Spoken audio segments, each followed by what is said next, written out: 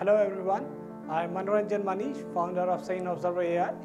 Dedicated to fortifying India's technological sovereignty, we are building a public digital infrastructure for manpower and knowledge management based on a cutting-edge digital twin technology.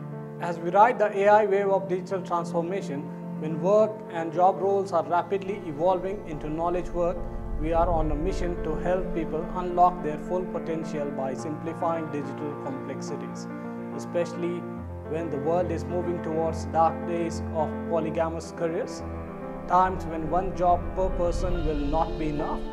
We are about empowering people to be at the best of their industrial readiness. We have been on this endeavor for quite some time.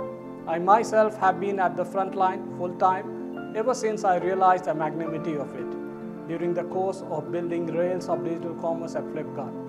Since 2016, around seven years of blood and sweat now to this cause, which is not limited to just software and content, our vision extends a lot deeper to have real world facilities across the length and breadth of this country.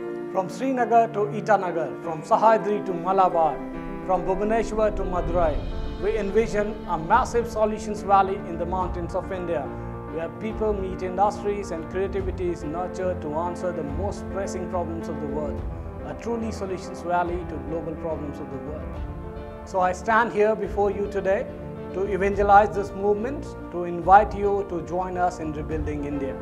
This is a once in a hundreds of centuries opportunity when demographic dividends and every factor that counts is poised in our favor. Let's bring India back to the game. Let's make the most of it. I invite you all to fuel this into a worldwide movement. Let's build a transformed world that is efficient and cohesive.